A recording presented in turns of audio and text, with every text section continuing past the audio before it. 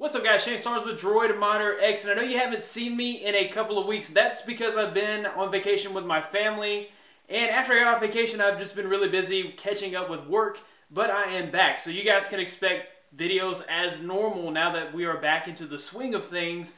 Uh, speaking of vacation, I went to Disney World. I had a great time. It's nice to kind of unplug from everything and just enjoy my family and enjoy just being away from everything. It was uh, really relaxing, really nice. I will be sure to include my vlog style videos on that trip. Over the next couple of weeks, I will be editing those and posting those to my personal channel. So I will be sure to link to that in the description if you're interested in that. The reason we're here today though is to talk about the new Verizon over-the-air update bringing the HTC One M8 to Lollipop. I'm going to show you guys how to get there. Most of you that watch this channel are probably S off, bootloader unlocked, and you have your phone rooted. So it can be kind of pesky getting to the over-the-air update. So for most of you, you would have to go back to complete stock and then you could accept the over-the-air update. There are easier ways to do that. There's actually an RUU file that is just, basically it's just an exe, so you click it, it opens up, and it'll actually flash your HTC One M8 to 5.0.1 rooted with the stock recovery. Now, if you want to keep your custom recovery,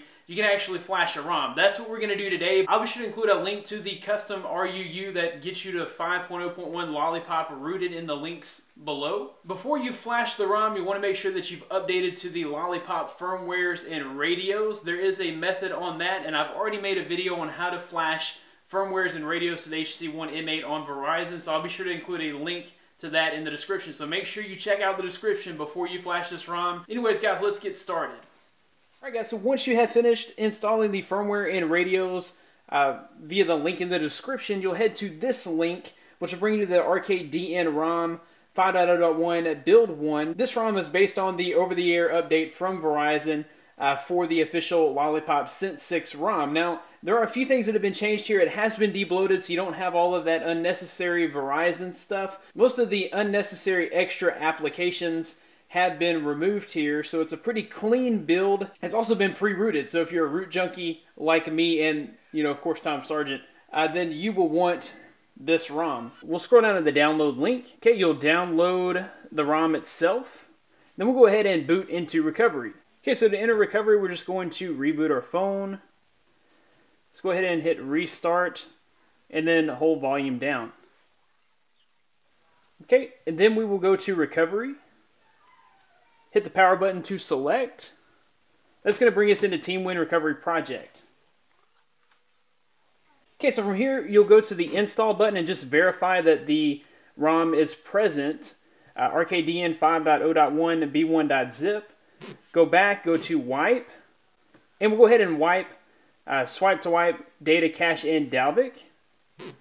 Once everything's been wiped, we'll go ahead and install the ROM itself. Now, GApps are included, so you don't have to flash those separately. We'll just flash the ROM. So choose that and then swipe to flash. Since I've already got it installed, I'm just going to go back and reboot the phone.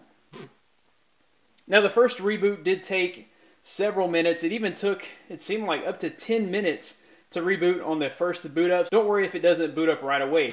It's just reconfiguring everything. It's basically like you're booting up the phone out of the box for the first time. Okay, so we have booted into the new ROM.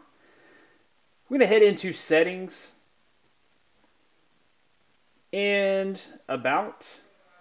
We'll go into software information. You guys can see we're running Android 5.0.1 and HTC Sense version 6. Now the software build number is actually the ROM build number, the ArcadeDN 5.0.1 build 1. Okay, so you can see that we still have blink feed here. And as you guys can see, it's really snappy, really fast. Runs really smoothly here.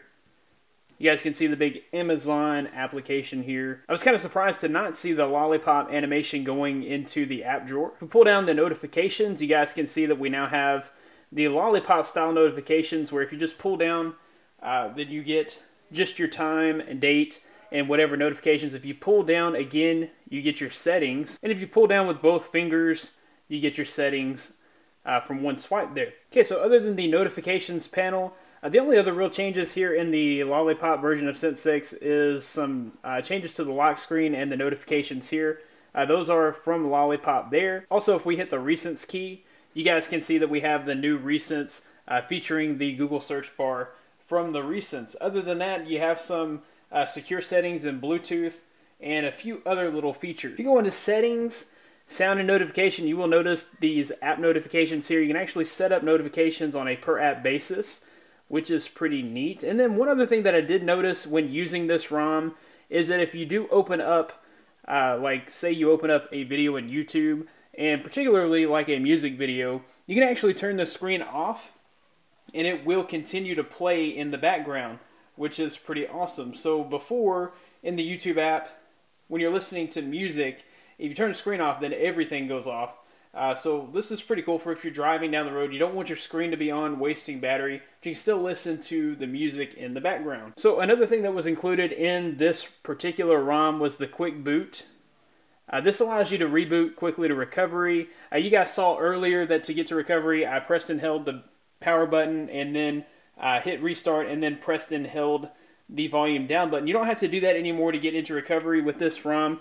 You can just open up Quick Boot and go to recovery from there. You can also go to the bootloader or just reboot the phone. Of course, you guys can see that Super SU and root are built right into the ROM. You do have a file manager. Uh, also, ES File Explorer was included. And it looks like we have uh, CloudX and Cronus. Guys, that about wraps it up for this ROM review. If you like this video, be sure to give it a big thumbs up. Subscribe to this channel for more content like this in the future. You can find more of me at droidmodderx.com. Thanks, guys, for watching. Be blessed. I'll see you in the next one.